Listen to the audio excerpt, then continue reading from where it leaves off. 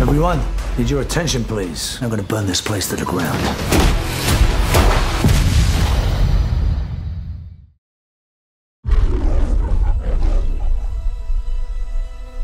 You're a blessing, Mr. Clay. This place was crabgrass and weeds, and you brought it back to life. Mrs. Parker and I were friends. She was like family.